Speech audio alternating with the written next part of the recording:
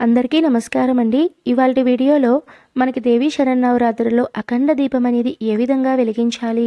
ఎలాంటి నియమాలు పాటించాలి? దీపం వెలిగించిన తర్వాత ఎటువంటి జాగ్రత్తలు తీసుకోవాలి? ఇలా ప్రతి ఒక్కటి వివరంగా ఈ వీడియోలో నేను తెలియచేస్తానండి. వీడియోను మాత్రం ఎక్కడా కూడా స్కిప్ చేయకుండా చూడండి. అప్పుడు మీకు క్లియర్గా అర్థమవుతుంది. అఖండ దీపం వెలిగించాలి అంటే చాలామంది భయపడుతూ ఉంటారండి. అఖండ దీపం వెలిగించాలి అంటే తప్పకుండా కొన్ని నియమాలు అయితే పాటించాలండి. ముఖ్యమైన నియమాలు ఏంటో నేను ఇప్పుడు చెప్తానండి. అఖండ దీపం ఎవరైతే దేవీ నవరాత్రిలో వెలిగించాలి అని అనుకుంటున్నారో వాళ్ళైతే తప్పకుండా బ్రహ్మచర్యం అనేది పాటించాలండి. నాన్ వెజ్ అనేది అస్సలు తీసుకోకూడదు. అలానే నేల మీదే పనుకోవాలండి. ఈ మూడు నియమాలు అనేటివి తప్పకుండా పాటించాలండి. ఎందుకండి అసలు అఖండ దీపం పెట్టే ప్రాసెస్ పెట్టారు? అది లేకుండా మేము పూజ చేయకూడదా? అంటే తప్పకుండా చేసుకోవచ్చండి. అఖండ దీపం అనేది లేకుండా కూడా పూజ అనేది చేసుకోవచ్చు. ఈ అఖండ దీపం అనేది ఎందుకు పెట్టారు? ఎందుకు వెలిగించాలి అంటే ఈ దీపం ఎలా వెలుగుతుందో క్షణక్షణం మనం ఆ మన ధ్యాస అంతా ఆ దీపం మీదే మనం పెట్టి మనం పూజ అనేది చేస్తూ ఉంటాం కదా అండి. దీపం అనేది మనం ఎవరి కోసం పెడుతున్నాము? ఆ అమ్మవారి కోసం మనం పెడుతున్నాం. కాబట్టి మన ధ్యాస మన మైండ్ అంతా ఈ తొమ్మిది రోజులు ఈ నవరాత్రుల్లో మన ధ్యాస మన మైండ్ సెట్ అంతా అమ్మవారి మీద ఉండేందుకోసం మనము ఈ అఖండ దీపం అనే ప్రాసెస్ అయితే వచ్చిందండి. తప్పకుండా పెట్టాలి అంటే అలా ఏం లేదండి. అఖండ దీపం లేకుండా పూజ చేసుకోవచ్చు.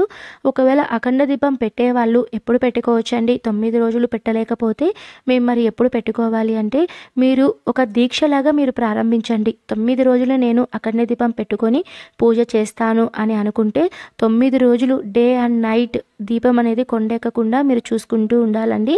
అంటే నూనె విషయంకి వస్తే కానీ ఒత్తి విషయంకి వస్తే కానీ ప్రమిద విషయంకి వస్తే కానీ అన్ని విషయాల్లో జాగ్రత్తలు అనేటివి తీసుకోవాలండి. అవి ఎలా తీసుకోవాలో కూడా నేను ఇప్పుడు చెప్తానండి.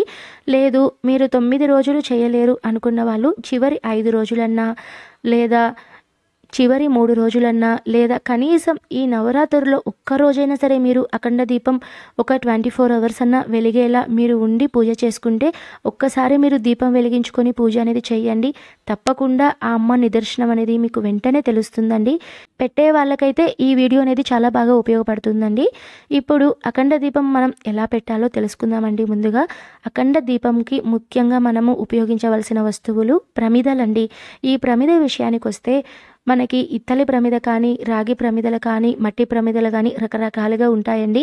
మీ యొక్క కన్వీనియంట్ని బట్టి మీరు ఎటువంటి ప్రమిదలనైనా మీరు వాడుకోవచ్చండి.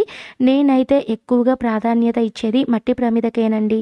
ఈ మట్టి ప్రమిద అనేది మీరు ఎందుకంటే మట్టికి వేడిని గ్రహించే శక్తి అనేది ఎక్కువ ఉంటుందండి. ఎందుకు మట్టి ప్రమిదలోనే పెడతారు అనే దానికి ఇంకొక శాస్త్రీయమైన నిర్వచనం కూడా ఉందండి. మన కాళీ పురాణంలో భూదేవి చెప్తుందట రెండే రెండు విషయాలను భూదేవి అమ్మవారు భరించలేరట. ఏంటంటే పాపాత్ముల పాదస్పర్శలు భూమి మీద ఉంటే ఆ తాకిడికి అమ్మవారు తట్టుకోలేరట అండి. అలానే ఎవరైతే దీపం పెడతారో దీపం పెట్టినప్పుడు భూమి అనేది వేడెక్కుతుంది కదా అండి. అలా వేడికి కూడా భూదేవి అమ్మవారు ఉండలేరట అండి. అందుకని ఎక్కువగా మీరు ఎక్కడన్నా చూడండి టెంపుల్స్లో కానివ్వండి ప్రతి ఒక్కరూ దీపం అనేది పెట్టినప్పుడు కింద ఒక ప్లేట్ అనేది ప్లేట్ కానీ లేదా ఏదైనా సరే మనము కింద మనము ఆధారంగా ఏదైనా సరే దీపానికి పెట్టాలండి.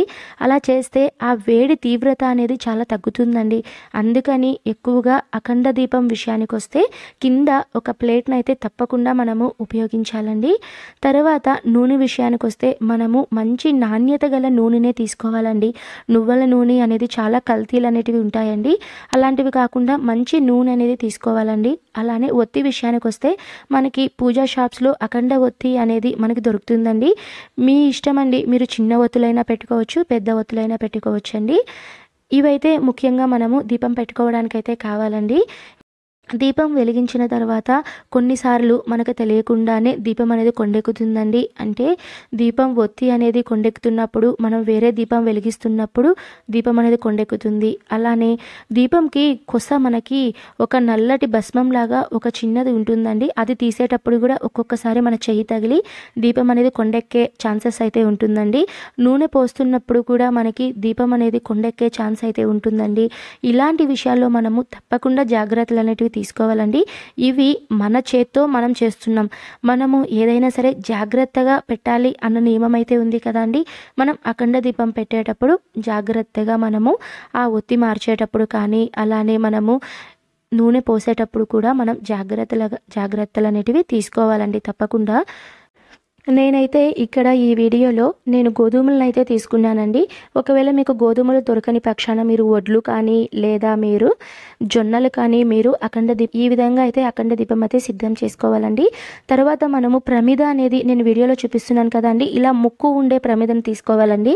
మనము దీపం అనేది పెట్టిన తర్వాత ఆ దీపం అనేది జారకుండా మనకి ఫిట్గా ఉంటుందండి ఒత్తి అనేది.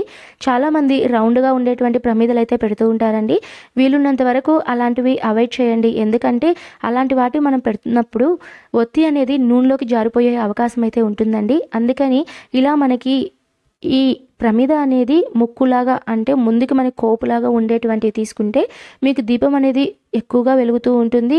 మీకు ఆ కొండెక్కే ఛాన్సెస్ అయితే ఉండవండి. తర్వాత ఇందులో మనము మొదటగా నూనెను వేయాలండి. తర్వాత ఒత్తి విషయానికి వస్తే మనకి పూజా షాప్స్లో చాలా ఒత్తులు అనేటివి మనకి అమ్ముతారండి. అఖండ ఒత్తి అంటే మనకి వాళ్ళు పెద్ద ఒత్తి అనేది ఇస్తారండి. లేదండి మేము ఆ ఒత్తి పెట్టుకోము అంటే పూర్వకాలంలో అయితే ఇంట్లోనే తెల్లటి వస్త్రంలో కొత్త వస్త్రంతో వాళ్ళే పేడి ఒత్తినైతే సిద్ధం చేస్తారండి. అలా కూడా చేస్తారండి. లేదు అంటే మామూలుగా ఇంట్లో ఉండేటువంటి ఒత్తులను కూడా వెలిగించుకోవచ్చండి. ఎందుకు ఇంట్లోటి ప్రిఫర్ చేయరు అంటే ఇంట్లోటివి చిన్న ఒత్తులు తొందరగా కొండెక్కుతాయి. అలా మధ్య మధ్యలో ఊరికూరికే కొండెక్కుతూ ఉంటే మనకి అయ్యో ఇదేంటో అని చెప్పనేసి ఒక సందేహం టెన్షన్ అనేది ఉంటుందండి. అందుకని ఇలా పెద్ద ఒత్తులు అనేటివి వెలిగిస్తే మనకి ఎక్కువ టైం అయితే వెలుగుతూ ఉంటుందండి. ఇలా మనం అన్నిటినీ పెట్టుకున్న తర్వాత ఆ ప్లేట్కి మనము పుష్పాలతో అలంకరణ అనేది చేసుకోవాలండి. తప్పకుండా మనము అఖండ దీపానికి మనం పుష్పాలు అనేటివి పెట్టుకొని పూజ చేసుకోవాలండి. ఈ దీపానికి నైవేద్యంగా మనము నెయ్యిని కానీ లేదా బెల్లంని కానీ మనం నైవేద్యంగా పెట్టాలండి. ఇలా మనము అఖండ దీపాన్ని అయితే మనం రెడీ చేసుకోవాలండి. ఈ దీపం మనము అమ్మవారి ముందు పెట్టుకొని అమ్మవారికి ఎప్పుడూ కూడా కుడివైపు ఉండేలా చూసుకోండి. కుడివైపు మనము అఖండ దీపం పెట్టుకోవాలండి. ఈ దీపం వెలిగించేటప్పుడు మనకి ఒత్తి అనేది ఒక్కొక్కసారి తొందరగా వెలగదండి. అలాంటప్పుడు మీ దగ్గర పచ్చ కర్పూరం ఉన్నా లేదా నార్మల్ కర్పూరం ఉన్నా కూడా కొద్దిగా మీరు ఆ కర్పూరాన్ని పొడి చేసి ఆ మొనకి మీరు రాయండి. ఆ ఒత్తి మొనకి మీరు రాయండి. ఇలా చేసిన తర్వాత మీ దీపాన్ని వెలిగిస్తే మీకు దీపం అనేది వెంటనే వెలుగుతుందండి. కొండెక్కకుండా బాగుంటుంది. ఈ విధంగా అయితే అఖండ దీపం అయితే వెలిగించాలండి. చాలామందికి మరొక సందేహం అయితే ఉంటుందండి. అఖండ దీపం వెలిగిస్తుంటాం కదా అండి అనుకోకుండా కొండెక్కుతు మేము మళ్ళీ దీపం వెలిగించాలా అంటే తప్పకుండా వెలిగించవచ్చండి. మీకు ఆల్రెడీ అఖండ దీపంలో ఉన్నటువంటి ఒత్తి కాలిపోతుంది ఇంకా కొండెక్కుతుంది అని మీకు తెలుస్తుంది కదా అండి. ఒక ఫైవ్ టు టెన్ మినిట్స్ లోపల మీరు మరొక ఒత్తిని సిద్ధం చేసుకొని మీరు ఆ ఒత్తిని ఏకహారతితో వెలిగించాలండి. అప్పుడు ఈ అఖండ దీపంలో ఉండేటువంటి ఒత్తి అనేది ఆటోమేటిక్గా అది కొండెక్కుతుందండి. మనం కొత్తగా వెలిగించినటువంటి దీపం అనేది మనకి వెలుగుతుందండి. ఇలా వెలిగిన తర్వాత కడ్డీలతో మీరు ధూపం అనేది చూపించాలండి. ఈ విధంగా అయితే అఖండ దీపం అయితే వెలిగించాలండి. చాలా నవరాత్రులకు సంబంధించి అన్ని పూజా వీడియోస్ మన ఛానల్లో ఉన్నాయండి. మీకు ఎవరికైనా ఉపయోగపడితే తప్పకుండా చూడండి. ఓకే అండి. మరో మంచి వీడియోతో మీ ముందుంటాను. Thank you for watching